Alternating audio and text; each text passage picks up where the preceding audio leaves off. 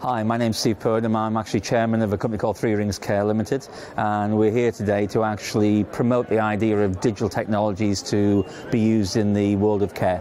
One of the most important things for families looking after their aging mums and dads is to know that they're okay each day.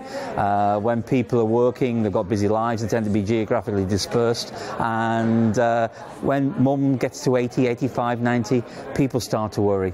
Just being able to know that mum's okay or dad's okay each day is a very, very powerful message from families. Now, the world is changing in social care in many, many different ways, but in terms of the technology area, the biggest thing is that information is starting to flow. Data about us, you know, how many steps we take each day, uh, whether we're up and around, uh, we can actually see what is going on. And that data can actually be used to actually help us understand whether mum is okay, whether dad is okay, whether there are potential trends. You know, for example, uh, my father-in-law used to make cups of coffee at 6.30 in the morning.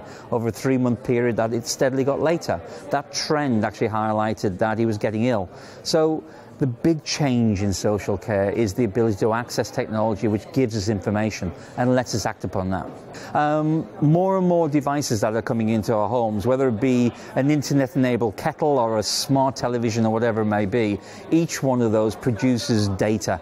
Now, data is meaningless in itself, but what it means to a family could mean, for example, when a kettle gets turned on, it means mum's up and about. Uh, when you can see that uh, mum has actually moved from the bedroom to the um, and there's been motion, that means again, what is mum okay? Because that might be okay through the day, but if she's doing it too often, that mean that may mean that she may need help or she may need to uh, have something investigated. So data is the basis of being able to understand what is going on.